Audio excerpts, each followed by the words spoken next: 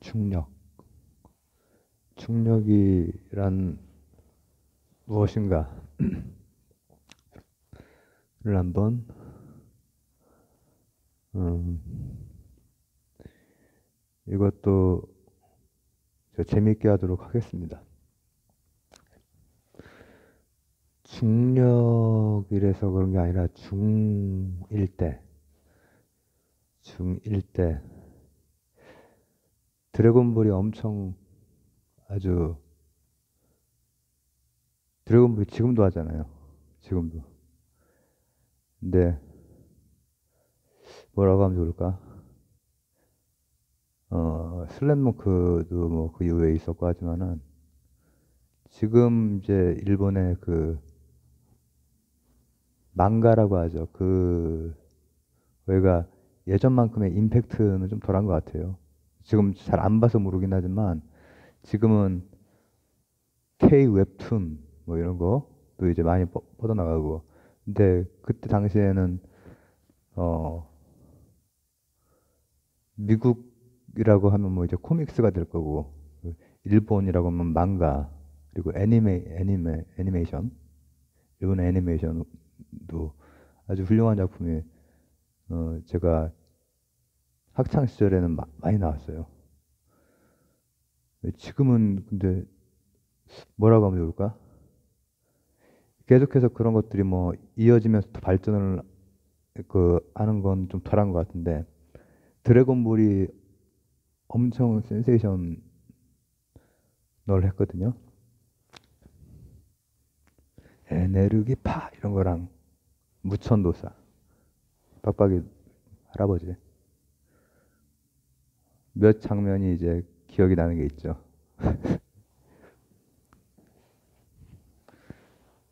중년의 분들은 다 기억나시죠? 어, 그 하여튼 좀 어. 아, 자, 근데 거기에서 이런 게 있어요. 모래주머니를 아 이거는 진짜 설명을 어떻게 아는 분들은 다 아실 텐데 모래주머니를 이런 데다 하고 드래곤볼이 저기가 손오공이가 막 손살같이 달리고 막, 막 하는데 하고 나서 이 모래주머니를 떼는 거야. 그러니까 그 엄청난 스피드라든지 운동 능력이 모래주머니를 단 상태에서 그렇게 수련을 한 거죠. 그리고 우리 반에 아 그 친구도 참 그 친구는 졸업하고 나서 이제 몇 번 보긴 봤는데 음 하여튼 좀 바뀌었더라고. 중학교 때는 되게 뭐라고 하면 좋을까. 동심 가득한 그런 친구였는데 너무 과묵해졌더라고. 어, 너무 과묵해. 그리고 하여튼 음, 일상으로 이제 과묵한 일을 하다 보니까 뭐 과묵하다기보다는 어 근데 그 친구랑 이제 제가 그 친구네 집에도 이제 놀러 가고 막 그랬었는데 저랑 친한 친구 있, 잖아요 횟집 하는 친구. 그 친구하고 저하고 또 다른 또 그 친구하고 친했던 친구예요. 그래서 그 친구 집에 가서 어 뭐 중학교 2학년 때 그 친구네 집에 비어 있을 때 비디오도 보고 그랬어요. 카프리의 깊은 밤. 제목 기억이 아직도 나. 그때 이제 처음으로 이제 본격적인 근데 그 친구가 모래주머니 이렇게 하고 그랬단 말이야. 근데 제가 중학교 1학년 때 이제 드래곤볼이 엄청 났었고 중1 때 오, 벌써 5분을 썼네. 물리 컨텐츠인데. 물리 컨텐츠도 재밌을 수 있다. 나는 하여튼 재밌게 하겠다. 그 의지를 보이는 거죠. 우리 담임 선생님이 물상 선생님이었어요. 그리고 제가 반장이었어요. 근데 그 저는 중학교 때 물상 선생님 그 선생님도 그렇고 고등학교 때 두 분의 물리 선생님도 그렇고 참 좋은 선생님들이셨어요. 실력이라든지 실력도 아주 좋고 또 겸손하시고 또 어, 인, 인격적으로도 존경. 왜냐하면은 촌지를 안 받으셨어요. 우리 때다 촌지 엄청 이렇게 서랍 딱 열고 이렇게 탁탁 열었다 닫았다 탁탁 치고 이렇게 그런 선생님들 고1 때 아이씨 그런 선생님들이 있었거든요. 저 엄청나게 두드러 맞았었습니다. 그 선생님한테 고1 때. 한국 킥복싱 창단 멤버 체육특기생으로 이제 그 이제 사대 이렇게 나오시고 한 분인데 아유 지금 와서 이렇게 얘기하기 지금 30년 전 일인데 어우 지금 그분도 이제 우리 아버지랑 비슷한 나이 정도 되셨을 텐데. 와 춘리가 현실판 춘리 킥복싱 창단 멤버. 그걸로 맞았다니까. 우리 때는 주먹으로도 맞고 그런 street fight 발차기로도 사람을 때려 학생을 때렸어요 근데 잘못하지도 않았는데 그래가지고 애들이 막 막, 아, 내가 일어나려다 말았다. 그러더라고, 나중에. 일어나면 안 되지. 그럼 street fight 맞는데. 아빠도 그때 한번 가서 이렇게 하려다 참으셨는데 저도 이제 제 친구들이 거의 다 학부모고 하니까는 어 저는 못 참을 것 같은데 오 장난 아니었어요. 제가 막다가 막다가 그냥 나왔죠. 맞진 않았어요. 막는 거 있잖아요. Street Fight 2. 중1 때 물상 선생님한테 여쭤봤어요. 중력은 아 제가 여쭤본 게 아니라 제가 물리나 물상 선생님한테 질문을 많이 한 편이에요. 그래서 근데 어, 다른 친구가 그랬구나. 드래곤볼처럼 이렇게 딱 하고 진짜로 그렇게 했어 애들이 여기에다가 모래주머니를 사가지고 그때 모래주머니 한창 팔렸을 때예요. 근데 어디까지 이렇게 가는 아주 무거운 것도 하면은 당연히 잔련이 돼가지고 드래곤볼처럼 막 이렇게 막 그렇게 아주 중력 상태에서도 하고 에너지 에너지파 이런 거는 못하지만 최소한 모래주머니 살 수가 있고 에너지파는 흉내 내봤자 안 되잖아 중일인데 초, 초딩 아유 죄송합니다 하여튼 어린이도 아니고 중1인데 이건 안, 하, 안 하지만 모래주머니는 했단 말이야. 우리상 선생님한테 누가 그 얘기를 했더니 어, 인간의 그 신체 구조상 어, 중력장이 어느 정도 이상이 되면은 사람이 죽는다 이렇게 말씀하시더라고요. 어, 사람이 그 감당을 못 해낸다 중력장을 중력을. 앞에 너무 많이 썼다. 어, 잠깐만. 아주 핵심 내용은 9분부터라고 이렇게 쓰던 해야겠다. 어, 10초 남았습니다. 근데 이 중력장이라고 하는 게 뭐냐? 아, 중력이라고 하는 게 뭐냐를 한번 좀 다양한 각도에서 중력이 쉽지가 않아요. 자, 구분됐다. 중력은 지금도 잘 해결이 안 되는 게 중력이에요. 강력, 양력, 전자기력까지는 그래도 나름대로 우리 그 이휘수 박사 이론 물리학자이신 이휘수 박사가 그 표준 모델을 하셨을 때 그세 개는 묶이는데 우리가 제일 잘 알고 있는 보세요 이렇게 해서 바로 떨어지잖아요. 중력 때문에 내가 떨어진 거예요. 중력이 엄청 세니까. 이렇게 익숙한 중력은 잘 설명을 아직 못 해가지고 그것 때문에 끈이론 같은 게 나오는 거거든요. 설명해 보려고 수학적으로 설명을 해보려고 차수가 높으니까 높은 차수 가지고 string theory 하나 가지고 이 어떤 끈의 형태라든지 진동을 가지고 설명해 볼 수 있지 않을까. 예, 대통일, 뭐 통일장 이런 이론이죠. 근데 잘 안 되죠. 중력이 가장 가까운 것 같은데 중력이 가장 어려운 거예요, 사실은. 중력이 뭐냐 이거지. 근데 우리는 중력을 가장 어 익숙하게 이제 중력 가지고 설명을 하죠. 우리가 보통 바라보는 세상에 대한 뭐랄까 물리량에 대한 우리의 이해는 근대적인 그 관념을 가지고 이해를 많이 하기 때문에 뉴턴 가지고 이해를 하는 거예요. F는 애매해 가지고. 그리고 실제로 그게 중력에 한해서는 가장 뭐 잘 쓰이죠. 잘 쓰이지만은 사실은 케플러라고 하는 거인이 있었고 그다음 뉴턴이 이제 활용 정점 그리고 오랫동안 1666년 뭐 이때부터 지금까지 최근 한 100년 전까지 아인슈타인 전까지는 중력에 대해서는 끝판왕이었던 거죠.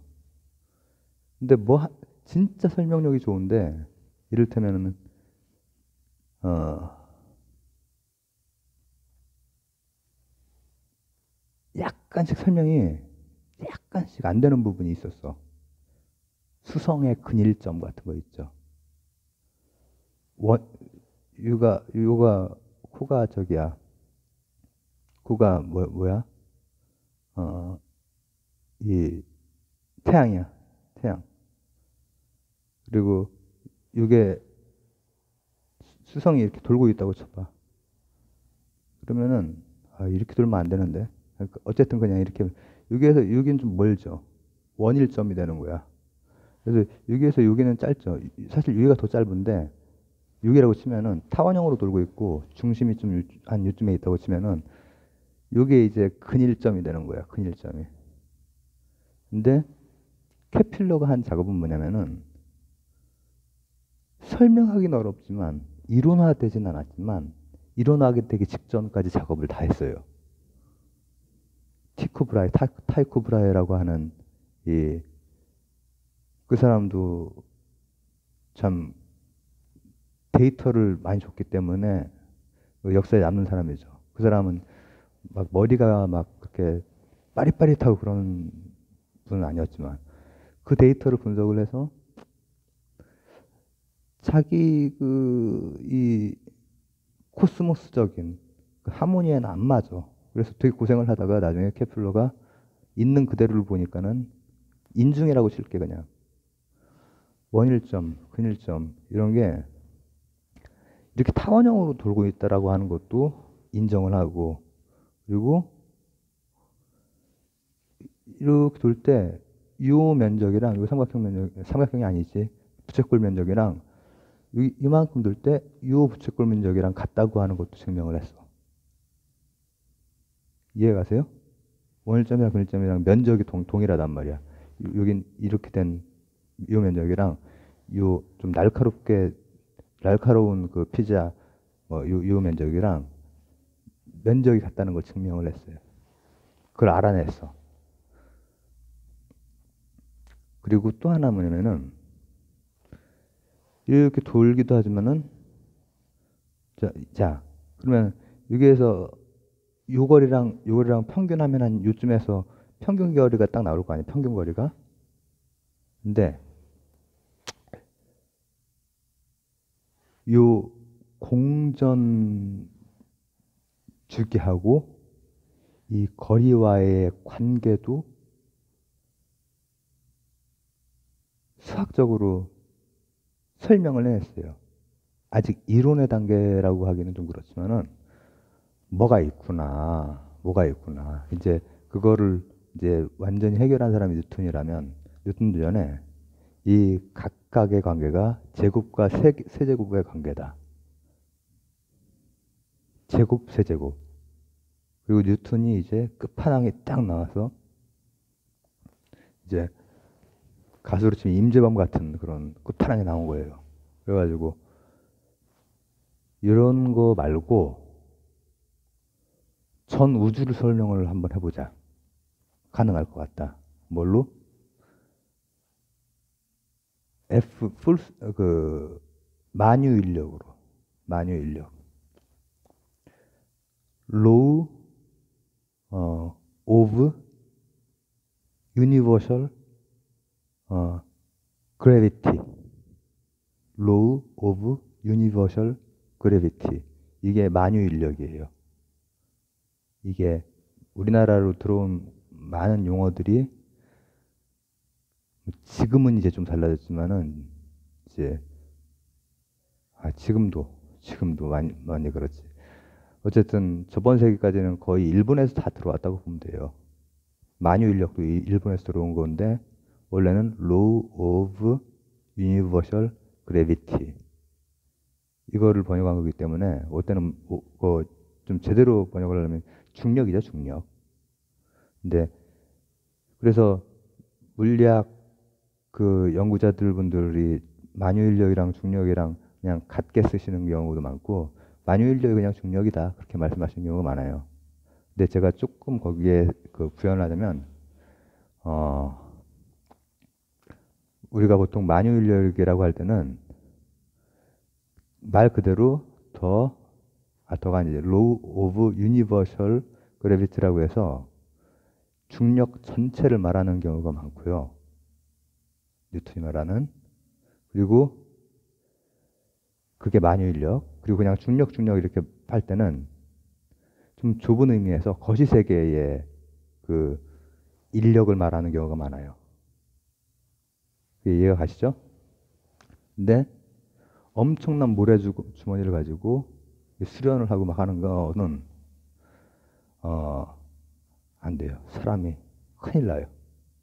왜냐하면 이 중력장이라고 하는 걸 우리가 우리의 신체 구조로 버틸 수 없거든요. 중력장이 엄청나게 엄청나게 커지면은 드래곤볼 같은 일이 일어나지 않아요. 근데 뭐 이제 그건 그 아마 물리학 자문을 받고 이렇게 그린 말은 아니고 그리고 뭐 그거는 그, 그 자체가 물, 인터, 인터스텔라 같은 경우에는 자문을 받고 한 거잖아요. 물리학자에. 한 5년 전에 노벨상 타신 분. 5년 전에 무슨 일이 있었죠? 아, 내가 맨날 5년이라고 해. 아, 2016년?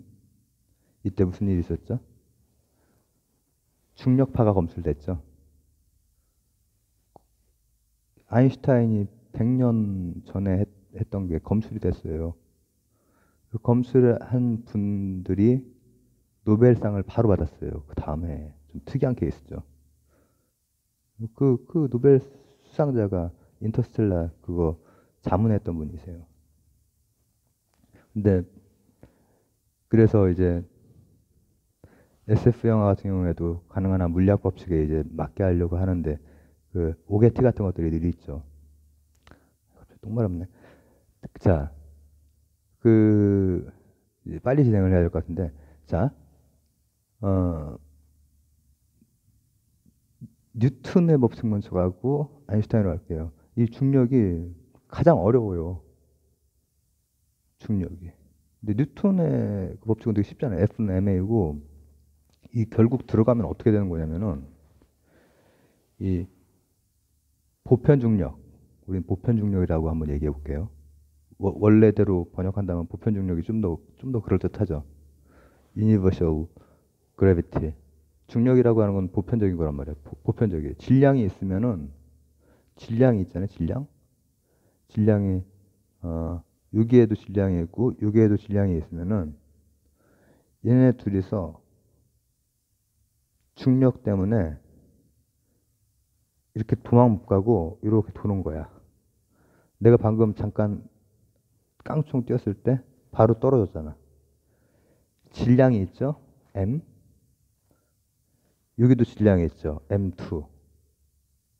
그게 바로 위로 올라가는 거야. 식에서.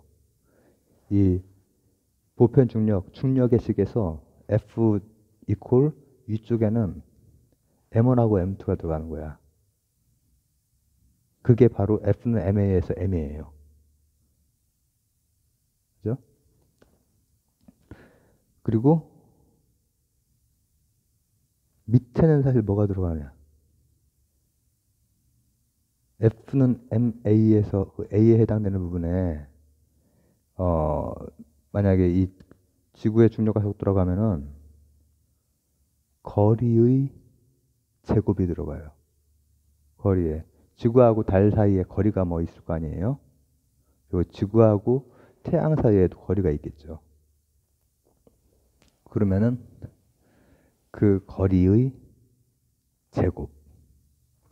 이 밑으로 들어가고 위에는 질량이 들어가고 그 다음에 이제 보편 중력이라고 한다면 중력 상수치 이렇게 붙는 게 바로 우리가 알고 있는 F는 MA를 조금만 변형하면은 이제 그렇게 되는 거죠. 그걸 가지고 변형하면은 G를 빼내면은 중력장이 되는 거예요. 전기장, 자기장도 식을 변형하면은 그 장을 설명할 수, 필드를 설명할 수 있잖아요. 그래, 그래비티 필드를 설명할 때는 G를 빼내면은 설명이 돼요. 중력 포텐셜 같은 경우에도 마찬가지로 식만 조금 조절하면은 약간 적분하고 하면은 다 적분, 적분이 딴 거 아니고 좀 더하는 거. 여러 가지 그 물리 양에 관, 관련되는 것들을 더하는 거. 그리고 포텐셜 같은 경우에는 미분을 해주긴 해줘야죠. 원래 그 중력에 대한 그 식이 미분 방정식이죠. 포텐셜 같은 경우에는 편미분 방정식이 되고 그렇게 되는데 중요한 거는 질량이랑 질량이랑 당기는 거예요. 근데 이게 너무나 익숙하지만 너무나 어려워. 물리 연구하시는 분들이나 이런 분들에게는 너무 어려운 게 중력이에요. 설명이 잘 안 돼.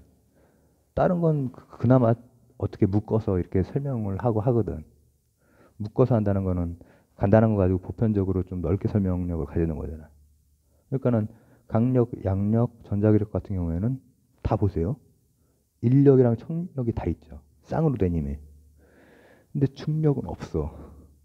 중력은 인력만 있지 척력이 없어.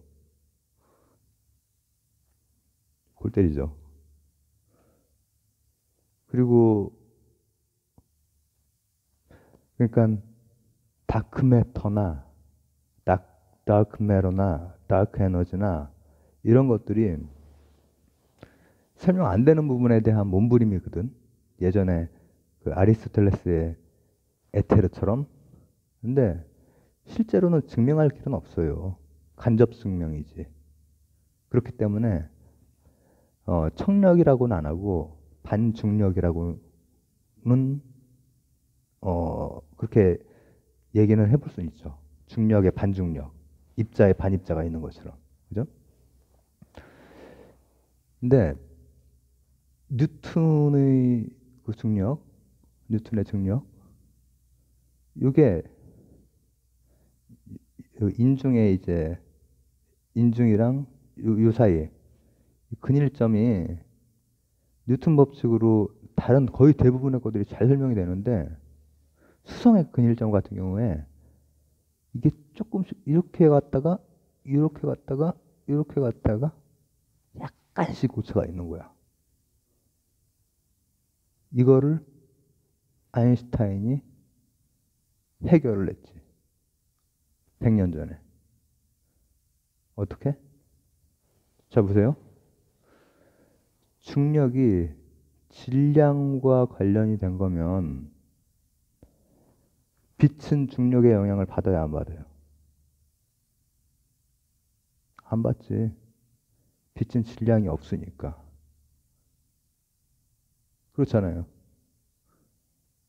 이것도 이제 깊이 들어가면 어렵기는 한데 빛이 어쩔 땐 중력 질량이 아주 작거나 0이거나 이래야 되는 그 좀 어려움이 있죠. 0이어야 되는데 또 약간 있어야 되기도 하고 다른 것 뭐 설명할 때 그래서 정합성 있게 이론 물리 같은 데에 깊이 들어가면 정합성 있게 설명하기가 되게 어려운 부분들이 있죠. 인간은 아직 세상을 그렇게 잘 몰라요. 인간은 겸손해야 되는 존재인 것 같아요. 근데 질량이 이제 없다라고 우리가 일상적으로 알고 있는 대로 빛은 질량이 없다. 이렇게 가볼게요. 표준모형 설명할 때도 다 이제 그 광자 가지고 거의 그걸 끼워 맞추거든요. 그래서 질량이 없는 걸로 하자. 이렇게. 질량이 없으면 중력의 영향을 받아야 안 받아요. 뉴턴이 어쨌든 거인이에요. 끝 판왕. 중력에 관해서는. 근데 100년 전에 설명 안 되는 부분이 이제 설명이 어떻게 됐느냐. 시공간이 휘어지고 막 이런 거 있죠. 이런 게 사실은 중력에 대한 거예요, 중력. 중력이라는 걸로 다 설명이 가능하다고. 빛이, 빛은 원래 이렇게 직진하잖아요. 쭉 나가잖아요. 그죠? 그러니까, 구체처럼 이렇게 퍼, 져 나간다고 해도 직진을 한단 말이죠. 노받고 직진을 한단 말이죠. 이렇게 가지 않고 직진을 해. 이 진짜 빛 구체처럼 퍼져나가는 거 이것도 사실 중력이랑 관련이 있는 건데 이 뉴턴적인 아 지금 설명을 너무 이거저거 하려고 하지 말자. 자 레이저 직진 맞죠? 확실하죠? 빛이 직진을 한다. 근데 아니다. 빛이 예를 들어서 여기에서 이렇게 가면 이렇게 가는 게 아니라 이렇게 가는 거야. 질량이 없는데 공간이 휘어진 시공간의 곡률이 바로 중력이다.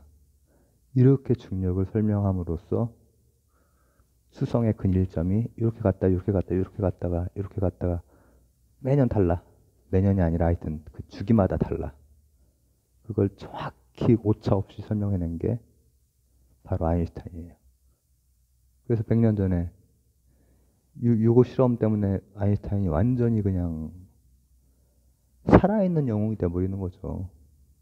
그 당시에 이제 물리학적으로는 이미 일군의 그 새로운 닐스보어, 하이젠베르그, 슈리딩거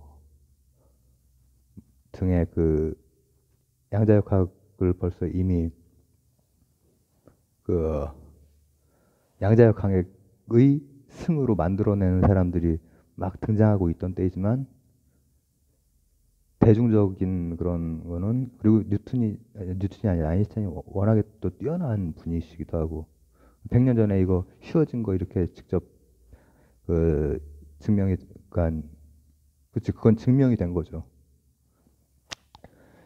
그리고 그 후로 100년이 지나고 나서 인터스텔라 그 자문했던 교수가 연구자가 심지어는 중력파까지도 이거는 중력파는 뭐냐면은 공간 자체가 울렁이는 것, 시공간 자체의 울렁임 자체를 잡은 거예요. 그러니까는 완전히 빼박으로 이제 중력에 대한 아, 아인슈타인이 중력이 없다라고 하는 게 아니라 중력이라는 게 시, 공간 공률이다라고 얘기를 한 거예요. 이, 이, 이런 과학 서적이나 이 다큐멘터리에 보면은 면이 이렇게 이렇게 돼가 이렇게 동그라미 구체가 있고 이렇게 되는 거를 이렇게 빙글빙글 도는 그, 그 설명 있죠. 우리는 4차원을 설명을 못 하니까 3차원밖에 그러니까 그렇게 해서 이해를 돕기 위해서 하는 거지. 근데 그거의 실제 그거는 뭔지 모르죠. 모르지만은 우리가 그래도 증명을 한, 해놓은 거 뭐냐면 중력파를 100년 전에 예측을 했는데 100년이 지나고 나서 5년, 5년 정도 전에 야, 그건 중력파라고 하는 거는 시공간의 울렁임 맥동이란 말이죠. 어떻게 측정을 해요? 시공간이 맥동하는 걸? 시공간의 맥동의 단 위가 10의 마이너스 21승 단위예요. 참 중력이라고 하는 단위는 네 가지 힘 중에서 가장 익숙한데 사실은 제일 약한 힘이에요. 이 세, 나머지 세 가지 중에서 제일 약한 게 양력인데 양력보다도 10의 마이너스 27승이 약해요. 중력이. 근데 그 중력파를 검수를 하려면은 시공간의 일렁임이 10의 마이너스 21 미터. 그러니까 나노가 10의 마이너스 9잖아요. 그리고 10의 마이너스 10이 이제 원자 정도 되는 거죠. 그러면 원자에 다시 한번 원자가 되는 우리가 보는 나노는 어느 정도냐면은 어 400에서 800 정도 380에서 한 680 정도 빨주노스 파나보를 보는 거예요. 그 나노미터. 그러면은 공, 공이 붙으니까 사실은 나노보다도 어 10의 마이너스 7 정도까지가 우리 눈으로 보는 건데 그거 보다 공이 어, 열 몇 개가 더 붙는 거지. 10의 마이너스 21. 그러면 이거는 볼 방법이 없는 거야. 근데 이제 똑똑한 물리학자들에 의해서 이걸 어떤 식으로 해서 막 그 증폭시키고 하는 그게 있어요.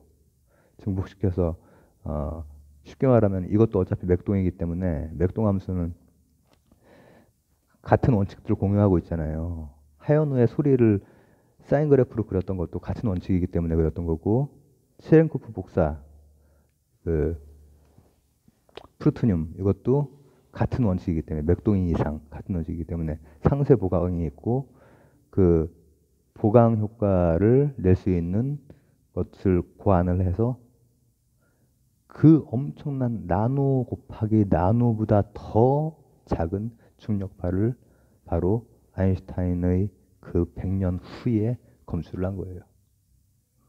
그게 중력의 정체예요. 자, 요약하면 뉴턴 이전에 뭔지 모르지만은 이 거리랑 관련 있는 어떤 뭐가 있어.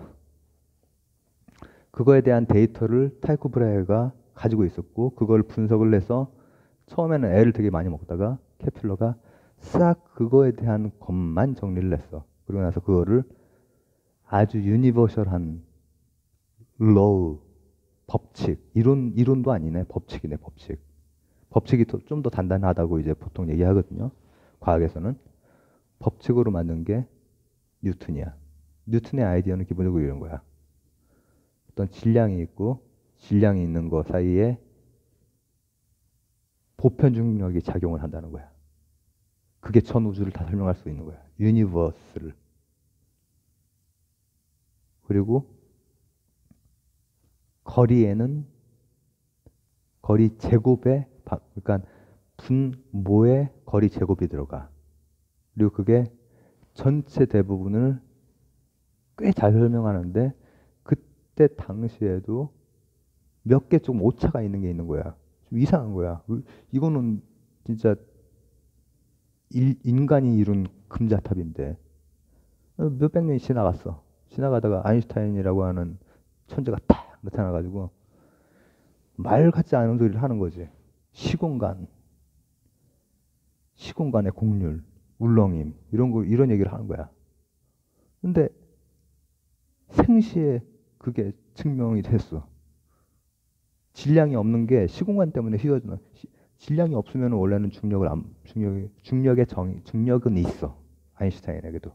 그러나 중력은 질량과 질량 사이의 인력이 아니라 시공간의 공률인 거야. 그러면은 빛이 휘어, 이렇게 휘어진 게 관측이 됐잖아.